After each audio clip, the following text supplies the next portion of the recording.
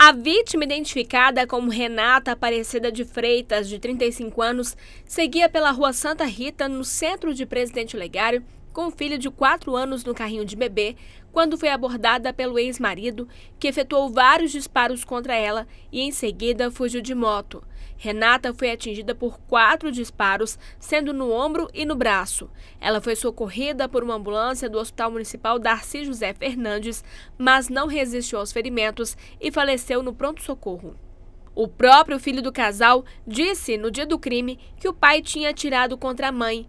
No mesmo dia, a pedido da Polícia Civil, o juiz da comarca de Presidente Legário, Dr. Manuel, expediu mandado de prisão preventiva em desfavor do suspeito Noé Meiro da Silva. Desde então, as buscas iniciaram na tentativa de localizá-lo. Após atirar contra a ex-mulher, o homem fugiu para a cidade de Patos de Minas, mas foi preso no último dia 11 em Presidente Olegário. No dia da sua prisão, ele voltou para sua residência com a intenção de se entregar na delegacia, mas foi preso antes dentro da sua casa. A motocicleta dele estava estacionada em via pública, o que chamou a atenção dos militares né, e motivou essa, essa abordagem. É, durante a abordagem, ele foi colaborativo, né, não resistiu à prisão. A arma do crime ainda não foi localizada. Os únicos registros localizados, né, é, anteriores, foram relacionados a, a, fatos envolvendo ele e a vítima. Datam do ano de 2022. 2022 e 2023. Acredito que ele, por ter passado já três dias, né, ele, ele já não, não acreditava que seria localizado né, pelas equipes policiais.